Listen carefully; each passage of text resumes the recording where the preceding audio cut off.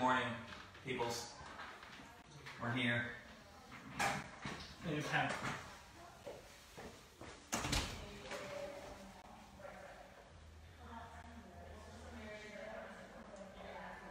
Marc needs a pen, so he had to go get one.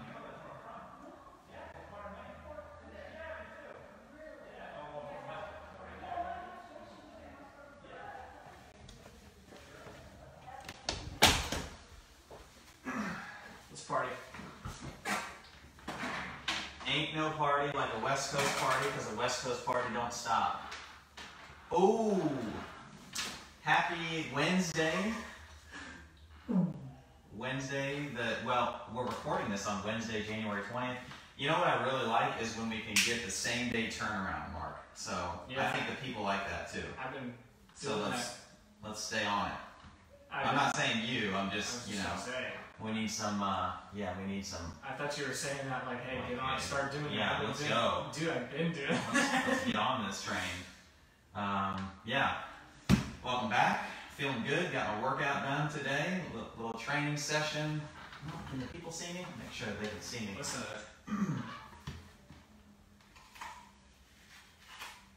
That's not at all what you thought it was going to be. Okay, so that brings us to our first sponsor, Honeycrisp Apple. Is that that's a Honeycrisp, isn't it? Yeah. Those are the best apples. And if anyone says anything different, you can go ahead and unfriend me and leave. Bye. Yeah, no Granny Smith. Don't even bring up Red Delicious, Fuji. Those are garbage. Okay, so first sponsor, Honeycrisp Apples. Honeyquist apple. Yeah. Number two is uh, light lemon lime lightning Kill Cliff. Mm-hmm. Crush it anytime. Mm-hmm. Okay. And then AirPods. And big. No, that's Pilot. Or is that Bic? Bic. Bic, Bic Pilot. Bic Velocity. Okay. Cool. This is the pen I had to leave the live stream for, so I could take my notes that I'm not taking. So I've got a, a two cool personal updates that I want to give to the people. Share 'em. Number one is uh, my new shorts that I got today. See this? I'm very proud of these. Got them. They came in the mail yesterday. Um, the trusty Lulu. This is called the short, the 11 inch versions, because Rob Rivera said my previous 9 inch versions were showing a little too much thigh. Rob Rivera. A little too much thigh. Rob Rivera. Yes. Come on. Uh, he said my quads were not uh, massive enough to be showing off that kind of thigh. So He said that? no, I'm just putting words in his mouth. But it definitely sounds like something he would say. I was gonna So we're gonna. If he didn't. So that's update number one. Nobody cares about. Number two, I think some people will care about.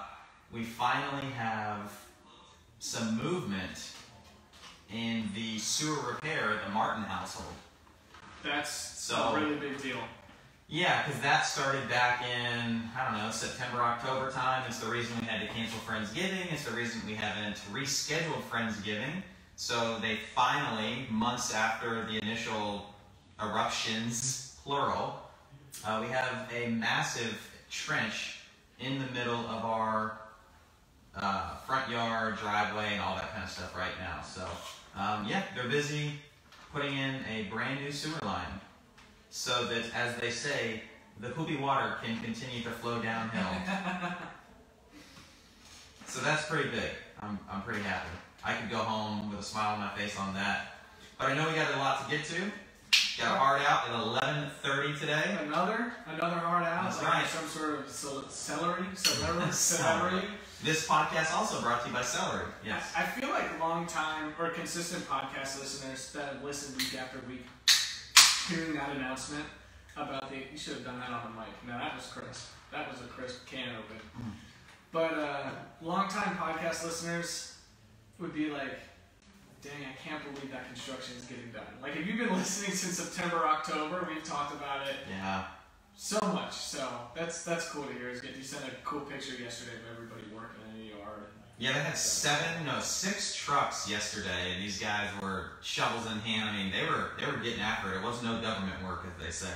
But you know, it's funny about that? So it's not only like CFG people that are keeping tabs on me and my sanity with regard to the situation. Um, uh, one of my gyms that I mentor up in New York State, who also happens to be a mentor for um, my team at Two Brain Coaching, his name's Sean. Um, he he loves asking like you know big deep questions, and he. So I told him, you know, that finally. Uh, no, I'm sorry. He asked me about a week ago. Hey, you know, I hope you got your plumbing fixed by now. And I said, nope, still no fix. And he texted me back and he said, I'm sorry your experiences must be incredibly challenging. I wonder what the lesson you are being called to learn is. What do you think? I was like, oh, Well, that's pretty uh, profound. That's some good self awareness he's looking for. And when I first got that message, I was like, forget you, man. Like, the lesson is that these people are stupid. No, but really, I said patience. I believe this is a great lesson in patience. So, nice. yeah, Patience is a virtue. it is. I remember it is. being forced to repeat that over and over in preschool, and Yeah. it's just funny because it works because I still say it all the time. Yeah. My uh, dad used to say that all the time. Saw your dad last night. You did? Yeah, he, uh, your mom and him came by here after That's right. the tryouts. Yeah, to, to uh, work out. That's right. Jesse had his baseball tryout last night. Let's not get started on that, We Rant, because that. we don't have enough time for that. But here's the Cliffs Notes. Tryouts for eight-year-olds are stupid in any sport or any endeavor. Really? Alright. Really? Oh, we're gonna get anything, into it, aren't we? anything, no, this is it. I'm gonna make the statement. Like 14 and under, tryouts are stupid. And if you- 14 and under. 14 and under, it's stupid. So you basically under high school. There's Yeah, there's no reason. what about for travel ball? No. You're gonna know real quick in practice number one if this kid is gonna be okay or not. Yeah. You know? It'd be easier if like everybody like so the say you say they got rid of tryouts, but as you played you were assigned some sort of rating. Yeah. Right? Now this is like super Black Mirror episode, but like say you were assigned some. I've never watched that, but I heard it's a really good show.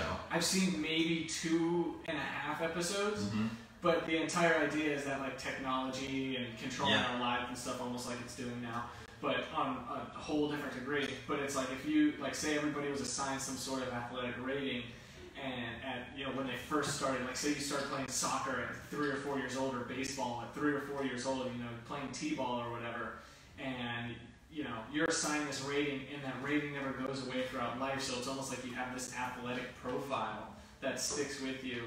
It'd be a lot easier to do that and like keep track of that than do tryouts year after year after year because then it's like okay well we can just group all the kids like with a similar average together or uh, you know each team has to have an average score of this. So that way you have have some players with this and some players with that. See I'm not as dumb as I look. That actually exists. what? For little kids? For like little league? For, yeah, so there are, and I, I know it specifically in soccer, um, the twins, um, Alyssa and Alexis. I remember talking to their mom. They played soccer. And I remember talking to Mama D, Donna, and she said that uh, they, this uh, soccer organization they played in, from the time they were real young, they would get this like digital card that followed them around to all these different organizations. So it's like, oh, this person, like this is like their athletic, you know, grade. And I think that is the dumbest, one of the dumbest things I've ever heard. what And I'll just go back to the tryout thing before we actually get into what the people actually care to hear about. Maybe they care to hear about this. And that's what chapter markers are for, right? We have a Exactly, chapter marker you're right. called So you don't care Introduction about and this. Banter. This is what it is. So imagine if when somebody wanted to come in and enroll their kids in our kids or teens fitness classes, and I said, oh, well, we, we only have, you know, two different seasons that kids can come and do this, and you're going to have to try out. And then we're going to place you to make sure that things are fair, or whatever the silly justification is that that and I and I and I believe me, I know the other side. I've been immersed in you know youth sporting culture for my entire life. Trust me, I've seen all the different sides of it, and it's still stupid. It it is. I say that as somebody who played it, who watched my brothers play it, my dad, and all this kind of stuff. That is interesting. It's almost like what we're trying to focus on more in the gym is like, hey, you know, we want we want to remember why we're doing this in the first place, right? Like everything we've talked about on the podcast is like, okay, remember, like go back to your original goal and like why you're doing it. And it's like it's almost like parents get caught up in the you've called it shiny object syndrome. It's like, ooh, like I want to do this or I want to do that. Ooh, I want to win. Ooh, I want to play travel ball. And it's like, why'd you sign your four-year-old son up like years ago for t-ball in the first place? Yeah. It's like to have fun, to get outside, like Right. to get social, like all those reasons. Why are you introducing some sort of hierarchy to it, Yeah. like an A team, B team, C team, stuff like that? Yeah, and for those that are, well, you know, they, they need that exposure, or they, they got to get their reps in, or, you know, that way they can get seen. Let me let me give you the statistics on on what we know. Your kid is probably not going to be a professional, and that is okay. Caveat: and if they are that good, they will get found. Even if you play one season and you play multiple sports, which, when you actually look at the data, shows that that is the best way to become well rounded, stay injury free, or reduce your risk of injury, so on and so forth. If you're good enough, you're going to be found just fine. And that's it. That's it. We can end it there. Bang. Okay. Um, we have some upcoming announcements, or we really, I mean, they're not upcoming announcements, they're current announcements for upcoming events. yes. That's what's going on now. So the first one is the consistency challenge that is starting here in five days. We are five days away from that starting, which means you have today, Wednesday, tomorrow, Thursday, Friday, Saturday, and Sunday. So five more days, or really, by the time you hear this, about four, four and a half days to sign up for that if you're interested. Um, Stephanie, man, she is she is on my case about doing it. She is like she is like yeah, Get on it. Get on it. um, whoa, she's getting aggressive here. So yeah, consistency challenge that's coming up, um, and then we have the Alafaya 5K trail run uh, that is coming up on the 31st. So that is on Sunday the 31st, um, and so we're we're really looking forward to that. I think we've talked about that enough at length on the the podcast about how much fun that is. Do it. Just sign up and do it.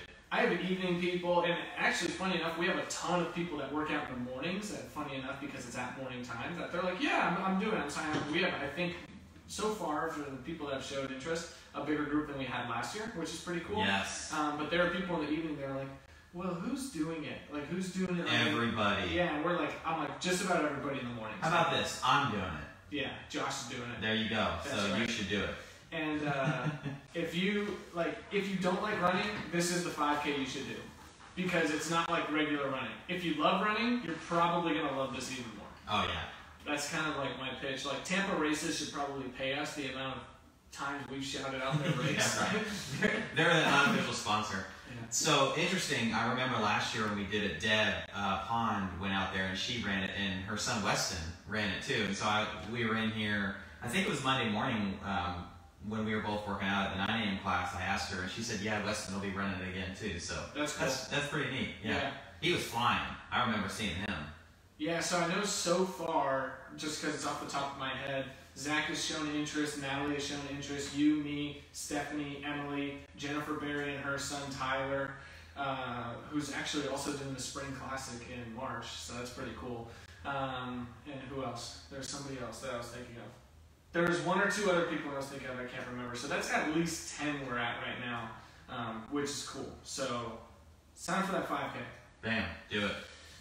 Um, And was there? I see one more on there. Yeah, I put question marks. I didn't know if we're sharing that because I know last week we didn't share it. But Yeah, yeah, go ahead. If we've got the date for it, yeah. Yeah, so February 27th, we are doing another snatch clinic. This is with Coach Gene. We did one. By the time this one comes around, it would have been maybe like eight months, six to eight months prior. So um, this is our, we could call it our annual or biannual snatch clinic that Coach Gene is putting on.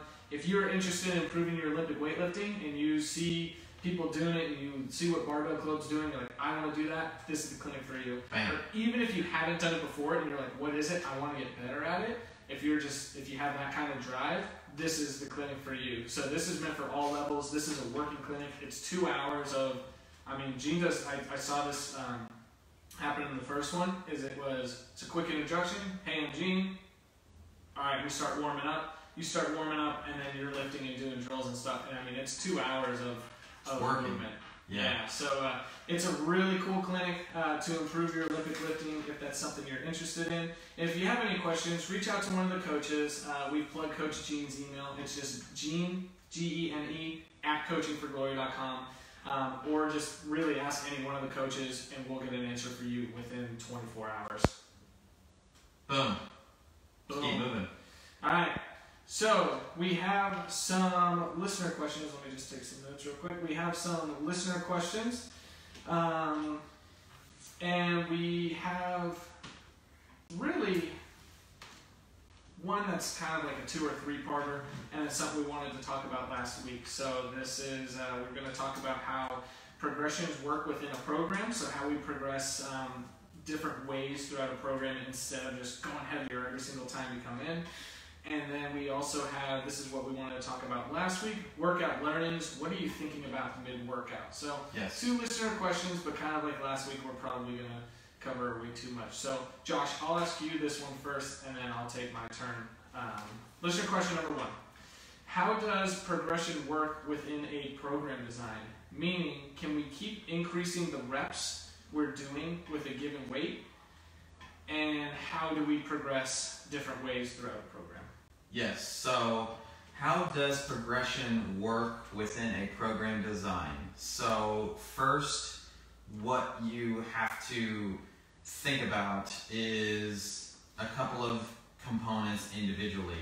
Number one is the person, and we talked about this at length a couple episodes ago, but you have to consider the person and their ability to um, adapt and recover from the stimulus or the stress that is put on them. So you have to consider the person.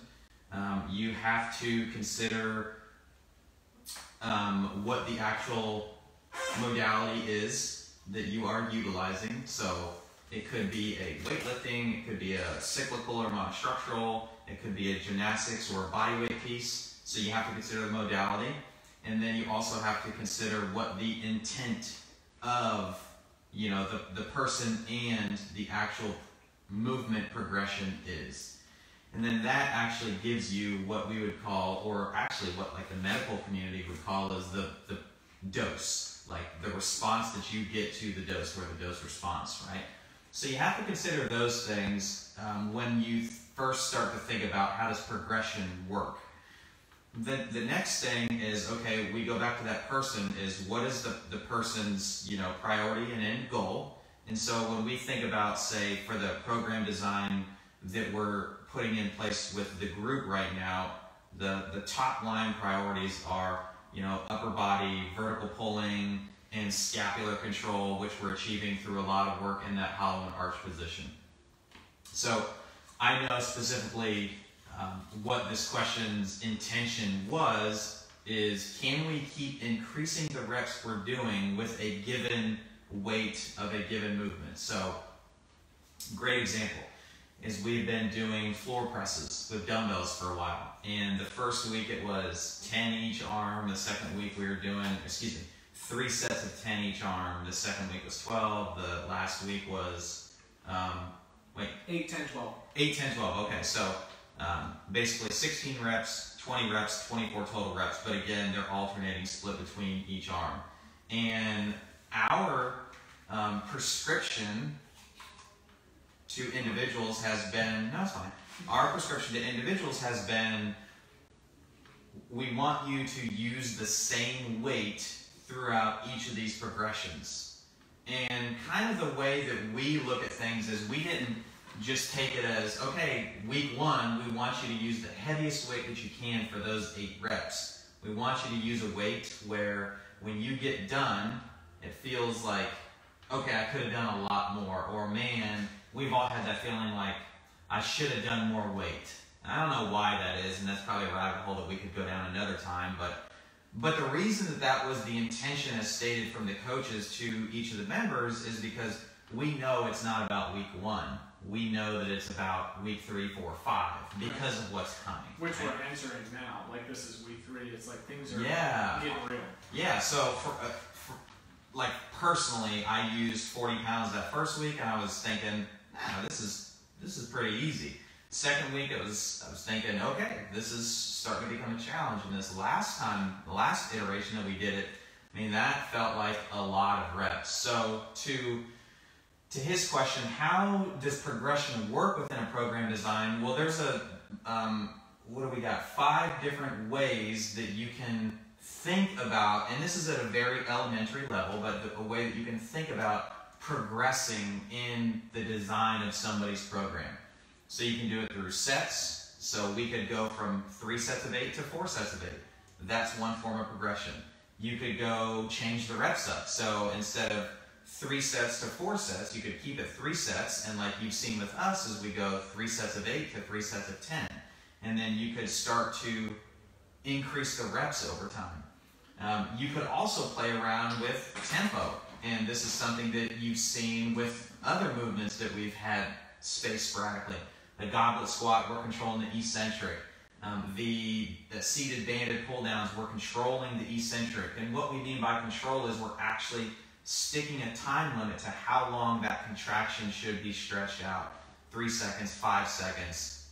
So that's uh, sets, reps, tempo, rest, time domain. So if I lengthen the amount of rest that um, somebody is getting in between a given effort or set in something, it stands to reason that your ability to recover and express that same characteristic again um, would increase meaning you're going to recover enough to do the same amount of work again. As I decrease that rest, things are going to get more and more and more challenging. So right now, I think we're doing supersets, and correct me if I'm wrong, but we're saying rest two minutes. Mm-hmm. So we could do three sets of eight in week one. In week two, we could do three sets of eight again, but take the rest from two minutes to 90 seconds. And then in week three, from 90 seconds to 60. And then in week four, from you know, you yeah. see what I'm doing each time. But that's only one variable that I'm changing. And so you can quickly understand that progression, there is just so many different ways. And the astute, about that, the astute listener will say, well, wait a minute, there's one that he hasn't even mentioned yet, and it is the last one, and we purposely put it last because all the other four sets, reps, tempo, and rest, it really doesn't matter in somebody's program design. Now, this is a very general statement. Individually, I would say that it does, but in a general sense, I don't really care if you progress sets or reps or tempo or rest. Those are to me all interchangeable. What order you go in? Oh, am I gonna? This is where coaches can kind of get lost in the weeds. Well, should I do three sets of eight and then three sets of ten, or should I go three sets of eight and then four sets of eight? Like, well, just pick one and go with it, yeah. and then we need to see what happens. And then follow that progression. Exactly, and then stick with it because then and only then can we figure out, hey, if their adherence has been good, what is the efficacy of this program saying? And your pen came apart. I didn't even notice. Okay, but let's get to the last one, which is the one that people are probably pointing out now that we haven't mentioned, and that would be that of load. So load is the last thing that we would actually use as a progression for something. The reason being is that when we're adjusting um, sets and reps in particular, what we're actually doing is getting a lot of good practice and repetition, or what backroom coaches talk would be described as like motor control. Okay? Um, tempo and rest, what we're actually allowing the body to do physiologically is, you know, recover, but more so than that is to build up things like tendon. I always get these the first couple letters mixed up. Tendon and ligament strength. Mm-hmm. So we're doing that. So the things that really kind of keep the body stable and able, we're spending time there. Load is going to be the last way that we would increase the progression. So to go back to how does pro- progression work within a program design, very deliberately, very intelligently, with intention, understanding the person, the modality, in order to figure out where do they need to go next. Yeah. That's the way the progression works. It's not, oh, I've been doing 50, can I do 55? Well, let's actually progress up through all these other areas first before we say, okay, you should increase the load that you are actually putting on your body. Yeah. So it's it's funny thinking about it now and kind of thinking through this as you were talking just now is we kind of almost like will reverse engineer it when we're in person coaching, like when we're on the floor. So say for example, like we're doing the floor press or the seated banded pull downs, and someone's like, hey, like Josh, Marc, do you mind watching this real quick? Because I'm, uh, you know, I'm having a rough time with this. It just feels wonky. Can you watch this? We're like, okay. One of the first things we're gonna say is like, all right, slow it down. I'm gonna watch you real quick, right? So like, even without real, even us realizing it, is like we've controlled the tempo, right? So we've just controlled the tempo. We've said, okay, like slow it down a little bit, or we might say rest a little bit longer. Like, okay, like take two minutes, like take two minutes, and then let me watch you, right? Because we want to see what it looks like after we have seen that first, say it's, you said you use the 40s. Say yeah. you're doing floor press with 120s, 100 pound dumb, 120 pound dumbbell in each hand, right. right?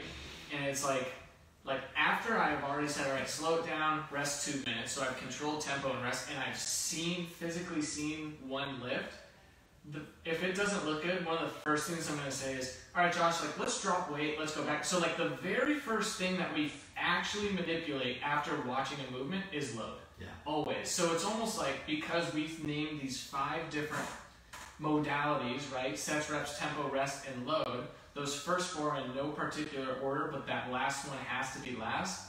Now, okay, when we're going in reverse, it's okay, we gotta manipulate load first. Yeah. And then it's okay, maybe now you're working with 40s, and 40s are looking good. Okay, now I want you to complete what we do when was the last, what we did this week? Three sets of 12 on each side, right? And now that looks good. So then we can play around with sets, reps. So it's like without us even realizing it, we're manipulating all of these modalities, but load is always going to be the last one. And so it's funny because Josh, you and I, something a little different that's been happening um, the last couple of weeks versus, you know, say the last year or two years is you and I have actually been collaborating on the programming. And, and so it's not just one person spitting out what's happening. It's both of us kind of talking about what the class is doing. And so I think you can appreciate this, but people will ask is, hey, you know, not like, you know, questioning, but they'll just be like, okay, so I'm staying at the same weight as last week because that's something we're not used to. You know, we're so used to going heavier than we did last week, right. and heavier than we did last week. And there's a time and place for that, almost like what maybe when you get more exposure to a movement, like a good morning or a floor press, like, okay, like if you felt comfortable with the 40s after the first week, maybe you'll go to 45s if you felt super, super comfortable. But it's not like you're going from 40s to 60s. Yeah. Right? And so we'll always say, like, okay, if you want to make this harder, like, let's not go from 40s to 45s. Instead, on the floor press, like, I want you to take three seconds on the way down oh, man. each one, yeah. right? Like, Much your, harder. Your pecs would be so sore. Um, so yeah, it's just that there are all those different things, and I'm, I'm so glad you brought that up. That we manipulate first before we're like, all right, add some weight. Like it's gonna feel better once you once you add some weight. I promise. Which I see you actually just wrote that note, so I'll let you go on. Yeah. So there's two things that I think about when it comes to the load question because it, I think this is a I don't mean this to sound sexist, but like the guys are usually the ones that are like, yeah, let's just keep loading up the bar, grabbing the heavier dumbbells, or 53 pound kettlebell. No, I can do the 70. Just for for guys being guys, right? Uh-huh. And mm, ladies, I'm not singling you out because we see, we see that with the ladies too, but just stick with me here. So let's say that over the past four or five weeks that you have gone up in in your weight progression how long do you think that's going to last? Okay, so you you showed that you could do the 50s. If I give you 10 weeks and you went from 40 to, to 45 to 50, are you going to continue to add that amount of weight? No, you're going to be capped out in probably three short weeks. And then guess what? You're going to feel for the next however long that that movement comes up that, nope, I've gotten as good as I possibly can at this thing. Or the more likely scenario is like, oh man, I suck at this, or I'm just never going to get any better, I'm not getting any stronger. Well, there's a reason for that. So the loading piece you need to be incredibly patient on that and understand. And if you don't, this is why we're trying to educate you on it. But understand that in order to get into those heavier loads, if that's what you want, you need to be able to express and develop motor control. You need to have the proper innervation in your central nervous system, you know, to have the maximal contractions possible to lift progressively heavier weights over the long haul.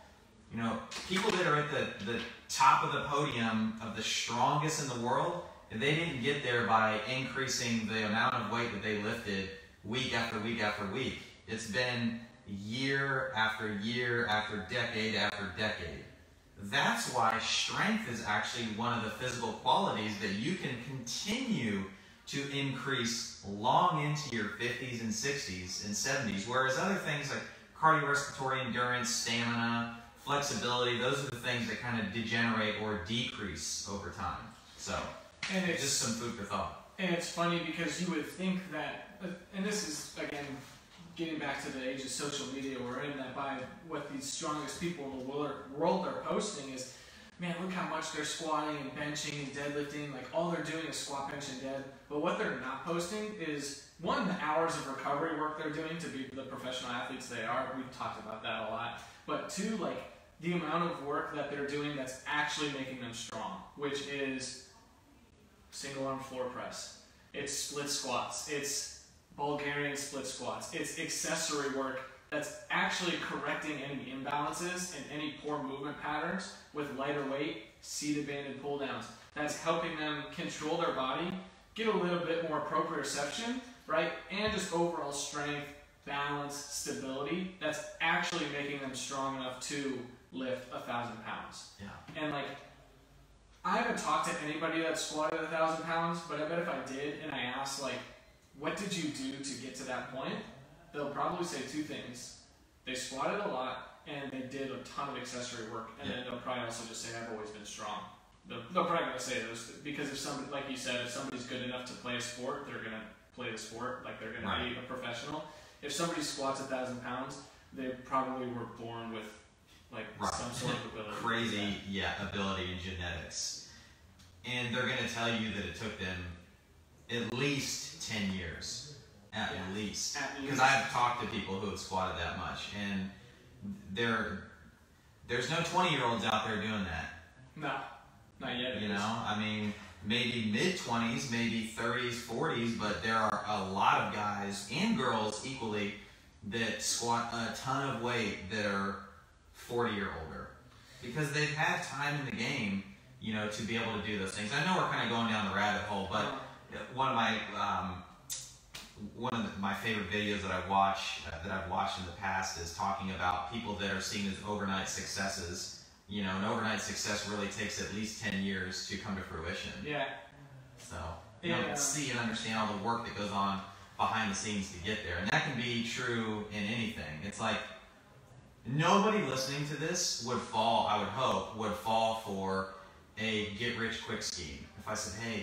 Let me get let me get you know thousand dollars today, and I'll turn it into ten thousand tomorrow. yeah, Unless I'm planning to go out and rob some banks, you know, that's not going to happen. So, if you wouldn't follow a get rich quick scheme with your money, don't do it with anything else, your fitness included.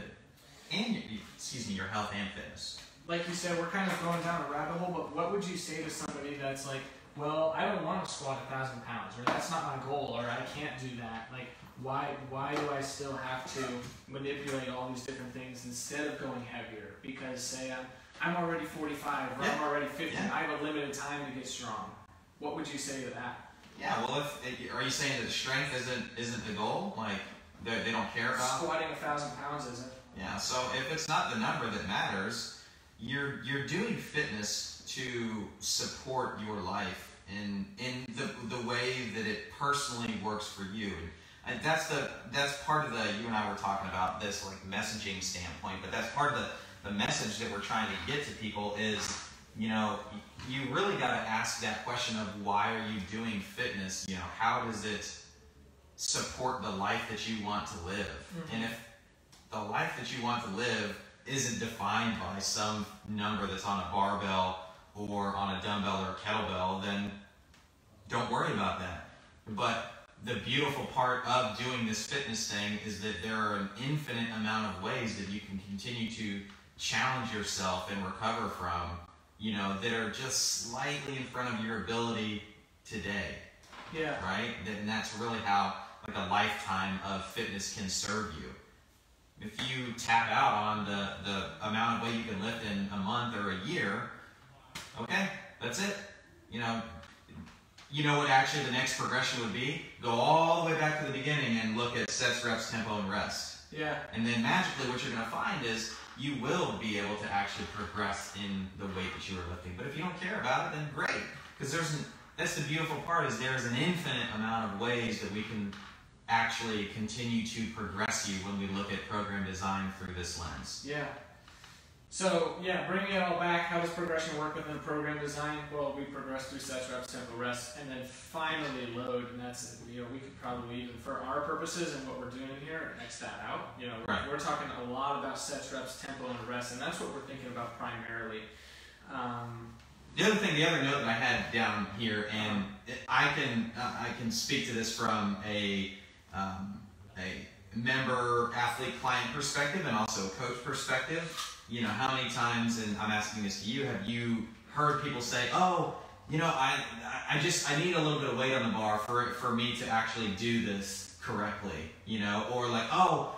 Yeah, let, let me add a little bit of weight to this deadlift and, and I'll show you how it should look. Or, oh, if I'm back squatting, I, I can't actually do the PVC. I need to get a little bit of weight on there to kind of feel things out so it looks right. I've said it, and I've heard countless people say it. I am telling you that probably if I haven't heard every single person in here say it, every single person here has thought it at least once, myself included. And I'm not Right. taking it because I'll be the first to admit Yeah. I'm nowhere near perfect. I've definitely said it. I've said it like and every single person coming through foundations has said it. It's like that's something you're gonna say in the first hour or two you're in Except here. Allie, she's never said that. Yeah, right. the first hour or two you're in here, you're going to be like, man, front rack with a PVC. I'll say I'm even guilty of being the coach and saying, you know what, the bar's gonna rest on your shoulders a little bit easier once it's a little heavier, right? Like I'm, I'm gonna be the first to admit that. Like every single person, except for Allie, has done that, right? Yeah. And so I think I was actually talking to Jim Godin from Exos about this a couple of years ago. We were having this, you know, kind of a coach's discussion, and you know, I asked him, you know, obviously he's seen it and what he said, and he's he's like, look, the the reason for that is plain and simple. It's just you, you being me or that person, whoever is thinking it or saying it, One. One, no, is that proper pronoun? I don't even know. But anyways, know you anymore. can send a note to your coach. But anyways, it's, it's no, you don't you don't need more weight. You actually just need motor control. You, you need to be able to control your body. And guess what? How do you how do you do that? You do it through, you know, quality reps, number of sets, moderating your tempo, so time under tension because it gives you more exposure and experience with that movement. Rest so that you can recover and adapt from it and go from there. Thanks, Jim Godin. Cool. Uh, let's see, what do we have here? We had some comments. Stephanie said, and their nutrition. I think she's referring to when I was saying, like, if you ask somebody that squats a thousand pounds, what did you do? Yeah, so we'll include those four. We'll say five things, right? So they did their, they, they squatted a lot. They were born with the, just a gift. They did their accessory work, but Stephanie also said their nutrition, and they probably also slept a lot. Um, Allie said, not me ever. Stephanie's guilty when it comes to Olympic lifts, and Allie is laughing. Cool. Sweet. Do you hook grip the microphone ever?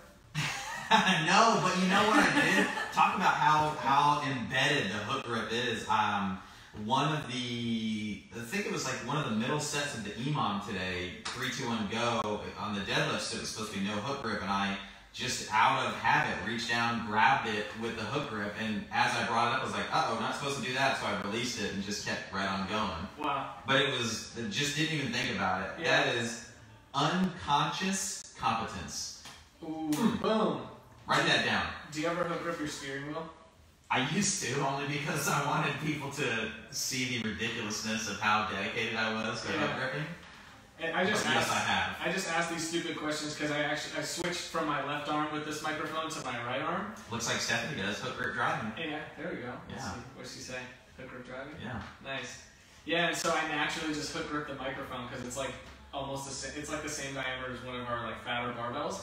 So I wondered, Stephanie, if you're still there, are do you hook grip your eating utensils, being a nutrition coach, and avid weightlifter? That would be like the pinnacle, right? like Of Neanderthal eating. you you just you you live and breathe you know your your passions that you have for weightlifting and nutrition so you grab your fork and it's Stephanie strikes me as someone that'll eat a 28 ounce raw, raw rare steak, hook gripping the utensil, and not using a knife. she would just grab the bone of the steak hook grip style no utensil and just eat it We're just kidding, Steph. We're just kidding. I hook grip driving to be annoying. All right, so listener question number two. Number two. Anchorman. See you later. Number two. what great character Um, so last week we wanted to talk about this. We got carried away with sugar, and then we talked about uh, programming again and movements. So this week we're going to talk about workout learnings. And the question was, what are you thinking about mid-workout? And so this, you know, we can use this as a teaching point to help teach people what to do during the middle of their workout. But I'm actually curious what you think about. I have a general idea. I've coached you long enough that I kind of know what you're thinking about. And then I guess I'll answer, and then yeah. So Josh, what are you thinking about mid-workout? well the first thing that i'll say is what i'm thinking about mid workout probably mirrors what i'm thinking about even before it starts um, I've seen the, the we've used this word a lot over the last you know year, and in particular the last six months we've been doing these podcasts. But I've seen it a lot. You know, at the beginning of the year, people have like their word. You Yeah.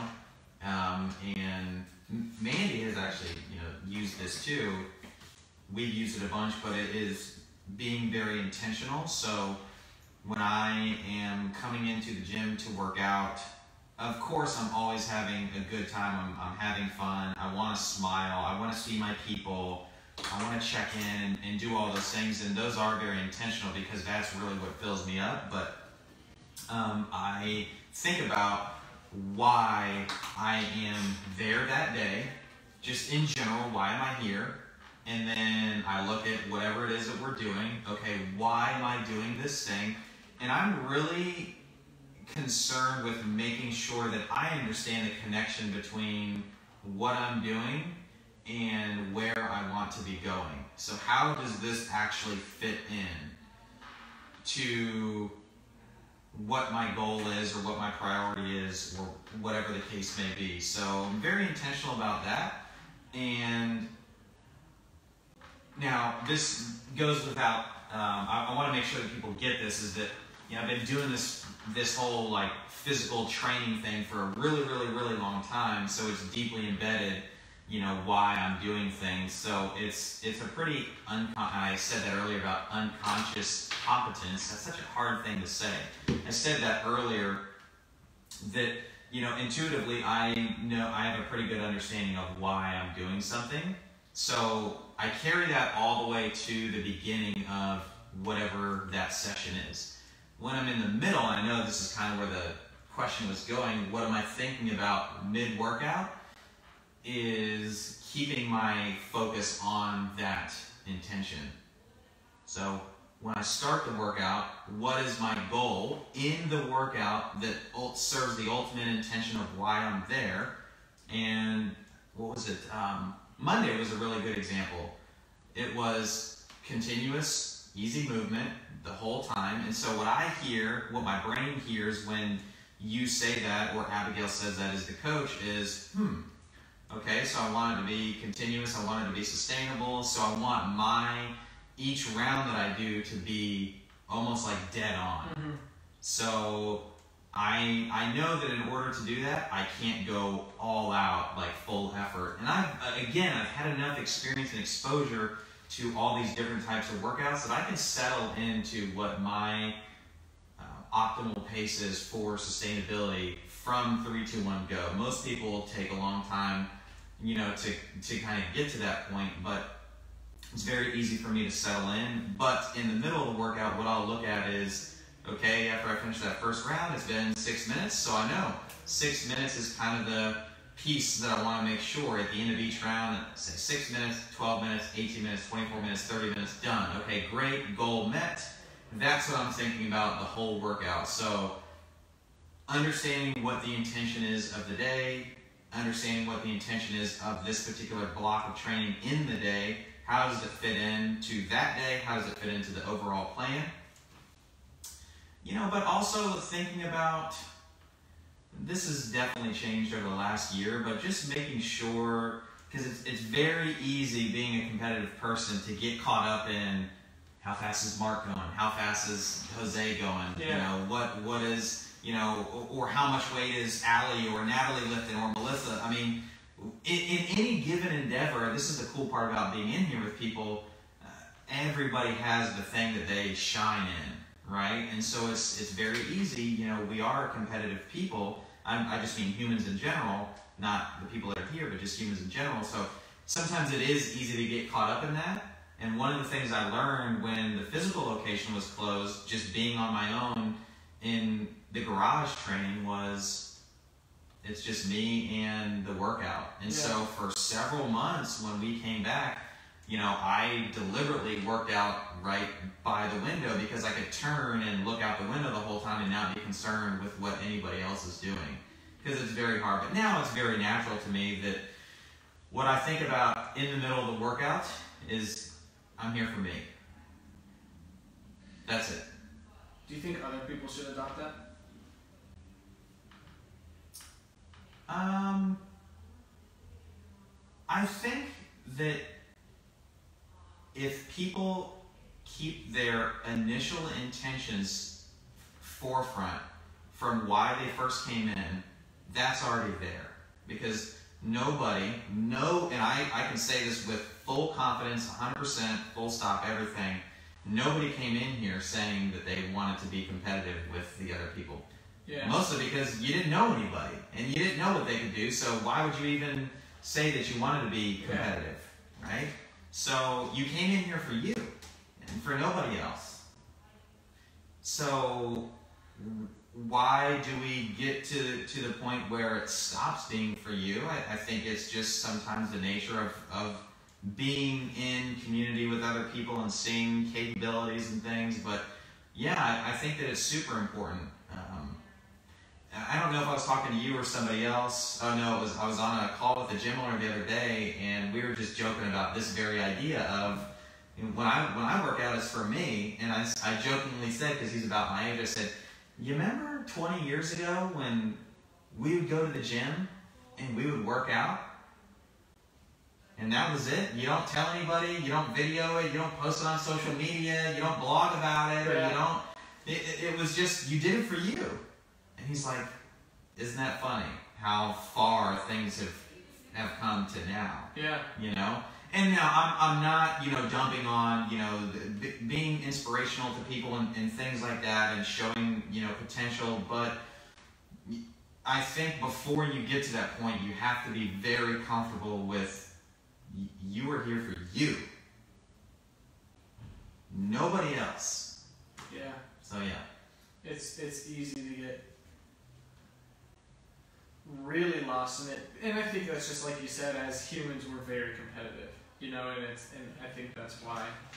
Um, it, it's funny because I can also consider myself pretty competitive, but even you know, thinking of my answer when I first read the question on our outline for the episode is, you know, lately it's okay how can I do this current thing I'm doing, you know, this certain rep, right, of this set of 10, and then this set in this workout, and this workout for my overall goal. yeah Honestly, right now is to um, shed a little bit of weight, right, because, you know, I just got done bulking, bulk season. bulk season for two years right? yeah So I right guess you could say I'm cutting, but not like saying that. Like I was saying, I'm losing some weight that I've gained on that I'm not happy with, right? But that's why I want to lose it, right? Is because I want to be happy, I guess. Yeah. I'm not, I'm not depressed, guys. Like, but, but Right. you, you know what I'm saying? It's Yeah. like you know when you put on a few pounds, you're like, man, I gotta lose a few pounds. Like, I think that's why I'm doing it.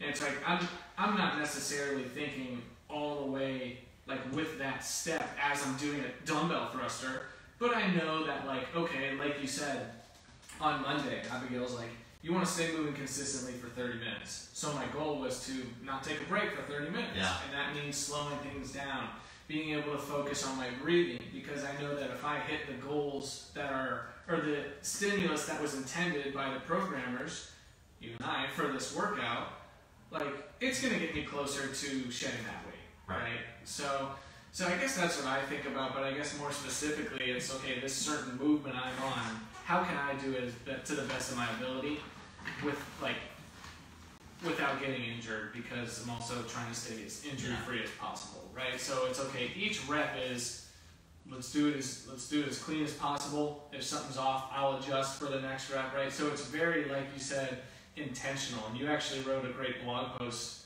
a couple years back about Jay and his workouts and and um, Yeah, maximizing the time that he was in there. Yes. Yeah, absolutely. and then you wrote about how success breeds motivation and like just talking about all on how he trains and and again we, we don't want to use elite athletes like him and thousand pound squatters for you know the, use them as the gold standard but I think there's something to be said for you know the way they work out. Like there's a way you can still do that and not be a games athlete. And still be, you know, Josh the business owner or Marc the head coach and reach your goals and be happy, yeah. You know? So there's a, a very we talked about this uh, one of the earlier episodes when I came back regularly onto the podcast. Every value that is on the back of my shirt that I'm wearing right now that we have up in the gym is very uh, thought about. It was very deliberate. And the third one down is be consistent because when you when you boil down the successes, you know, if you want to deem successes the thousand pound squatter, the games athlete, you know, go outside of the realm of athletics and look at the people that are, you know, successful business people. Look at the people that are successful parents. The the underlying fundamental principle is consistency. What do great parents do? They show up. Like they're there for their kids. Yeah. Like that's that's the goal. Manny and I talk about this all the time. Like I know there's plenty of things that we've already screwed up, you know, being parents.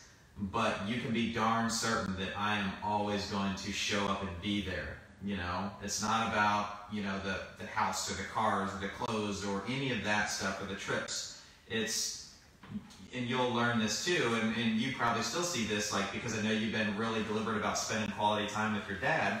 Um, it's like what what do they want? They want you to just be there and spend time with them, you know. So that that that principle of consistency, and I didn't deliberately tell the story because I saw Steph's comment, but she made the comment of like, do the challenge, Marc. Well, the the operative word that she left out of the challenge that she's running is, is it's about consistency because the people that are successful in whatever you want to do, you know, they're consistent.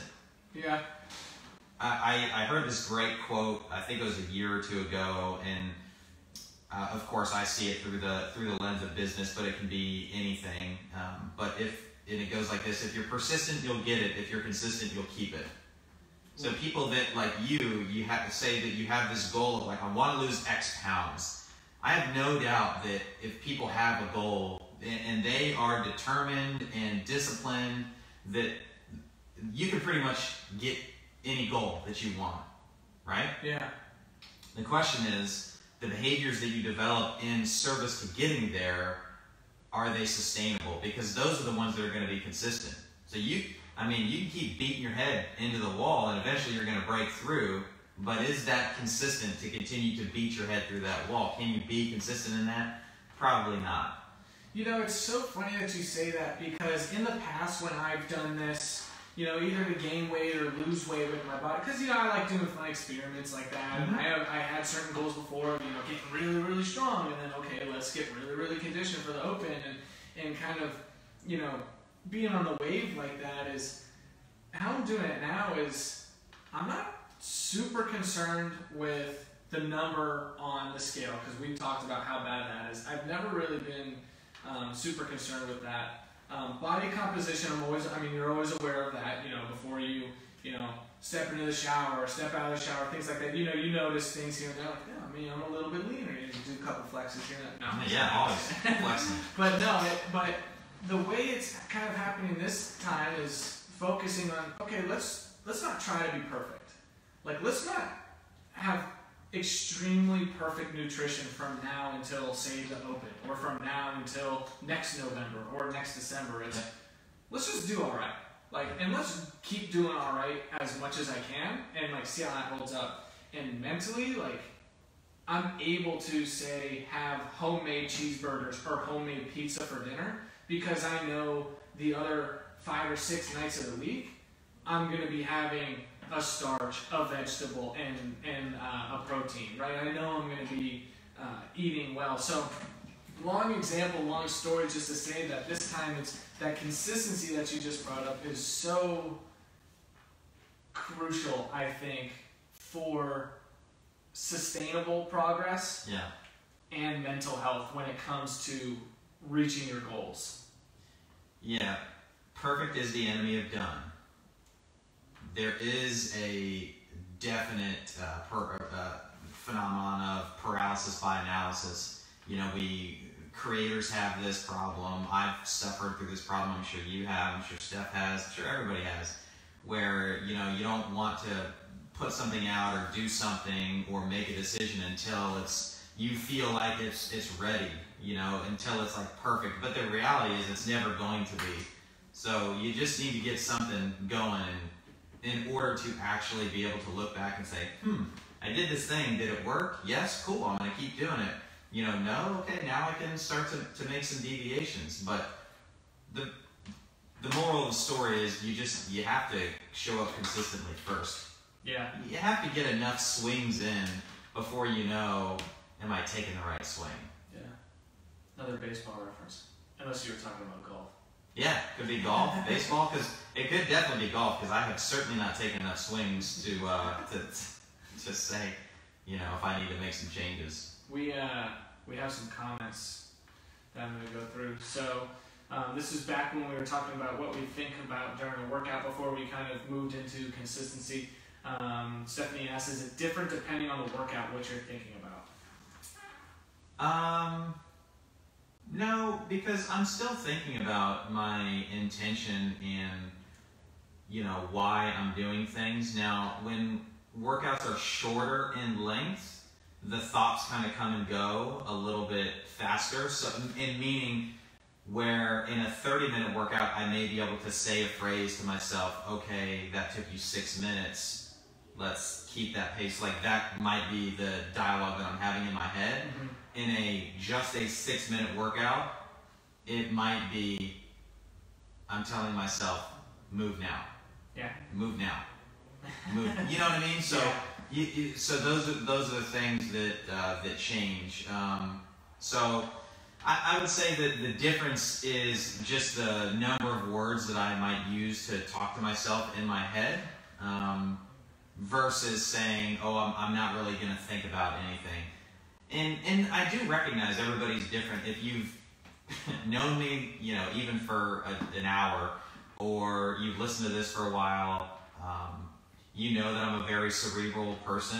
I put a lot of thought behind everything, so it's no surprise to hear that I'm having conversations with myself as I'm working out Yeah. you know and it's not just like you know and not to say that this is bad but it's not surface level. It's like you know deep deep questions you know why why are you here? Why are you In the middle of a thruster. yeah why am i actually doing this? And i know that sounds so silly but it, it just that's just me. Yeah. yeah. Um, so then she said you're thinking about that before the workout, right? yeah. Yeah because i did talk about what happens before but it also carries into you know what happens during Um, so Stephanie also said it would be interesting to poll some moms and women um, what goes through our minds during a workout. Now, as a garage person, I have very deliberately tried to turn off my mom brain while also looking at a monitor. So, Yeah, that's a, a really great point. I, I think that moms, um, and women in particular, could speak to this more intelligently than than uh, dads or males. But for sure, you know, um, I do think that there is a lot to be said for that because I even see it play out with Mandy. You know, when she'll go out into the garage um, to to work out or whatever. I know just because she's my wife that she's thinking about, oh man, you know, dinner and did the kids take a bath or is Josh gonna remember to put them in the bath or did I lay their, you know, things out? Because she'll come in and she'll have one thing to say about the workout and 12 things to say about what she thought about in just life things. But I actually don't think that's a bad thing um, because there is something, and we won't go down this rabbit hole today, but there is something about the flow state when you're doing a workout that thoughts actually come out really clearly and um, yeah. So I don't I don't think that's that's a bad thing to, No. to kind of go through that laundry list because That's- you you do actually want to have think about this. I I want to have this. I want to have fitness serve me in a way that I'm I become more mentally acute, Right. not something that like diminishes my mental faculties. Yeah. So, because I see, you know, down a little bit lower, Ali said, you know, I'm thinking about, you know, I keep breathing. Did I leave the coffee pot on? Keep breathing. Did Olivia turn in that project? Keep breathing. Did Mandy leave the car unlocked and all the doors open and the garage open and the front door unlocked again?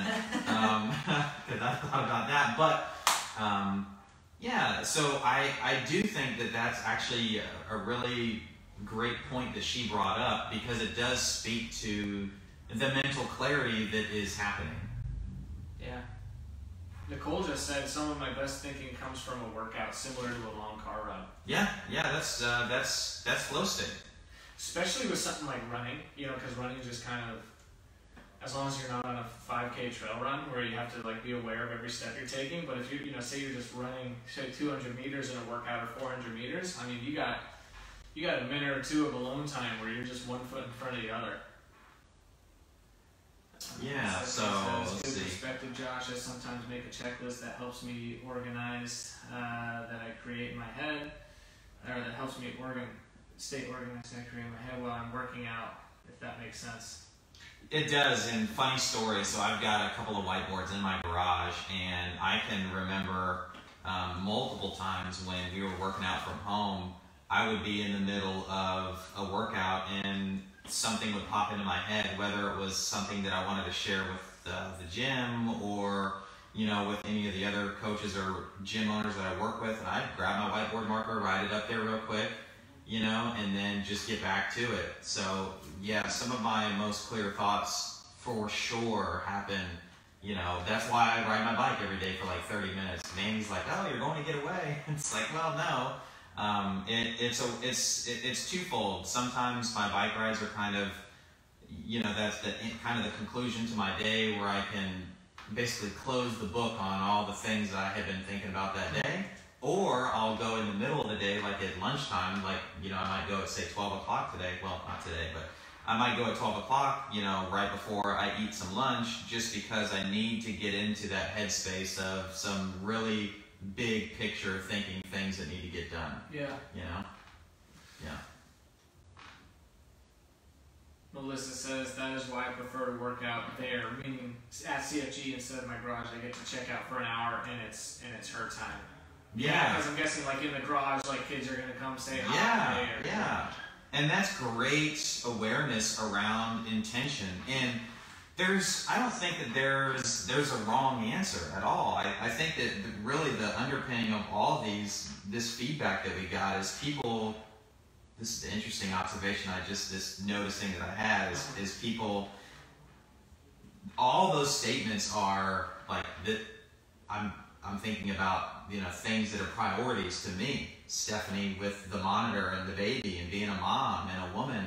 Allie thinking about the family and the kids and you know leaving the coffee pot on. Maybe she needs to get one with an auto off feature. But anyways, um, I'm sure she does. But you know Melissa recognizing that like this is she said it at the very end. It's it's my time. So the, the underpinning principle is that this is for me Yeah.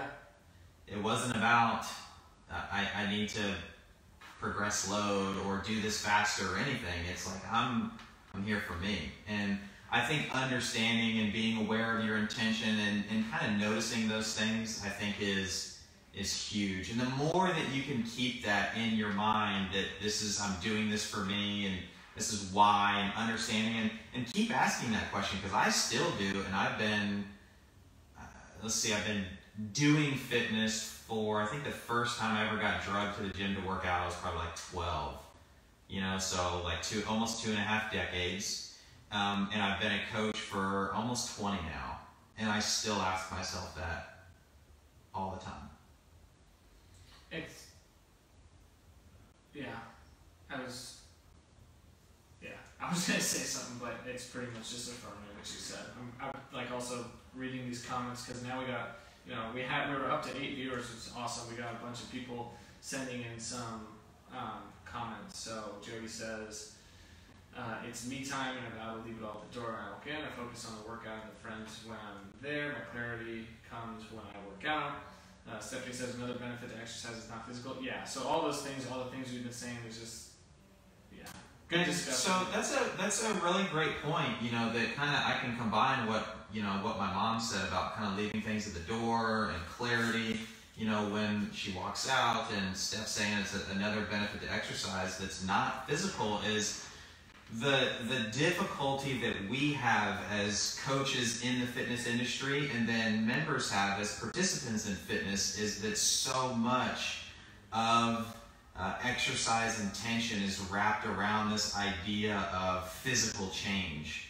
And there is so like that's the that's one that what we talk about our four pillars of sleep eat move and manage. Like that's one bucket um, that is affected right? Like that's the physical side but the stress management the nutrition the sleep like all these are different areas to improve upon. So think about like you know cognitive function um, think about appreciation of great relationships that you have. So these are all benefits and it's it's hard when you wrap your quote unquote success with your physical fitness in just one ideal that is physical because how, how do i measure and this is kind of a rhetorical question, but I am interested in your thoughts as we're bumping up against like, you know, the thirty, the eleven thirty mark. But how do I measure if a year from now, if I'm happier or more cognitively aware,